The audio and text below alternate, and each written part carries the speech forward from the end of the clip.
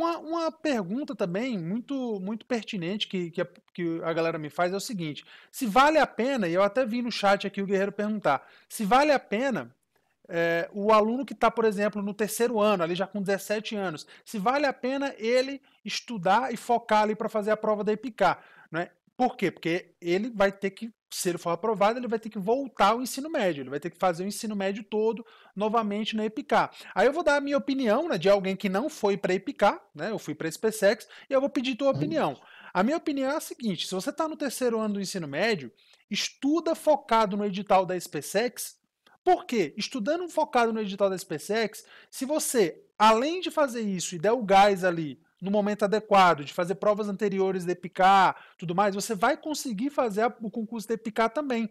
Então você não precisa focar somente na EPICAR com 17 anos. Estuda para a SpaceX que você vai poder fazer EPICAR, você vai poder fazer a ESA, tá? Você vai poder fazer a EA, você vai poder, você vai estudar para um concurso que vai te dar uma base para vários outros concursos, tá? E aí se você, por exemplo, com 17 anos passar na EPICAR, você vai decidir se você quer ou se você não quer ir para Epicar. Ou se, ah, não quero, eu vou continuar focando aqui na, na SpaceX, porque, pô, se eu fui aprovado na Epicar é um bom sinal, né? Então, provavelmente eu vou ser aprovado na SpaceX em breve, tá? O que, é que você pensa disso, o, o, Rafael?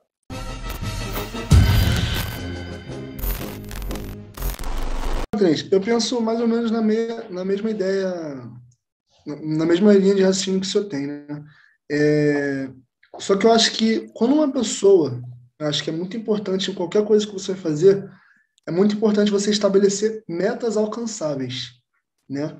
É você definir bem o que você quer para o seu futuro, o que você quer, qual é o seu sonho. Porra, eu quero isso para mim, né?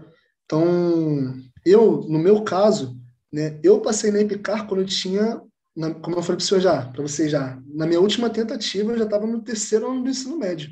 Né? Eu, inclusive, na minha preparação, não falei para vocês, mas na minha preparação para EPICAR, teve um ano que eu deixei de fazer ensino médio. No meu segundo ano de ensino médio, eu falei, mãe, olha só, eu vou me dedicar, vou me entregar por inteiro para esse concurso. E eu não quero fazer ensino médio esse ano. Por quê?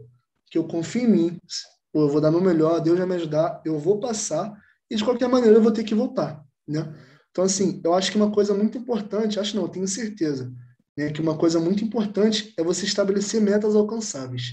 Né? Se você tem pretensão de, pô, porque quando você está no terceiro ano, como você falou, você já pode ir para ESA, você já pode ir para EA, você já pode ir para a SpaceX, você já pode inclusive ir para a AFA, né? que é o que você passaria três anos de EPICAR para depois ir. Você já poderia ir direto.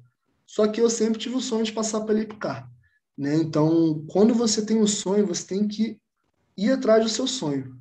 Só que se você é aquela pessoa que ah, não tem nada definido, eu não faço questão de ir para EPICAR, eu faria com exatamente isso que o senhor falou, Trins. Eu estudaria o quê? Para SpaceX, para AFA. Por quê? Quando você está no nível bom para esse concurso, para você estar no nível bom para esse tipo de concurso, pelo menos uma base sólida você tem de assuntos que caem na EPICAR. Né? Porque assuntos que caem na EPICAR são assuntos de ensino fundamental. Uhum. Para você estar tá bem no assunto de ensino médio, você tem que ter uma base fundamental de certa forma. Né? Então, se você é uma pessoa que não tem, é, não, não sente, vamos dizer assim, a necessidade de passar pela época antes, não tem aquele sonho de passar pela época antes, eu faria exatamente isso que o senhor falou. Né? Eu estudaria para um concurso né, de nível médio, né? E ali, pô, sei lá, faltando uma semana para o concurso de EPK, vou focar aqui, vou fazer todas as provas anteriores de EPK. Por quê? Porque não, não é uma porta aberta que está ali para você. Uhum. É uma oportunidade que está ali para você. Com né? certeza. Então eu penso dessa maneira. Inclusive, Rafael, muitos jovens me perguntam assim, Tenente, uma, eu ouço muito, né? Tenente, o que, é que você faria se você tivesse hoje 12 anos, 14 anos, 13 anos? E uma coisa que eu sempre falei foi o seguinte: eu começaria a estudar o mais cedo possível, com 12, 13 anos, para entrar na EPICAR cedo, com 14, 15 anos, né, e iniciar minha formação militar desde cedo.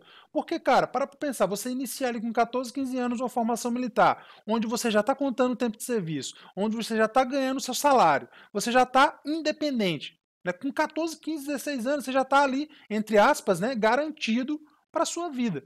Tá? Então, é uma coisa que eu faria é, é, se, eu, se eu pudesse voltar atrás eu iniciaria a minha preparação para concursos militares muito mais cedo, porque eu só comecei com 18 anos, né? Porque eu não, eu não sabia dessa, dos concursos militares e graças a Deus eu fui aprovado na SpaceX com 19 anos.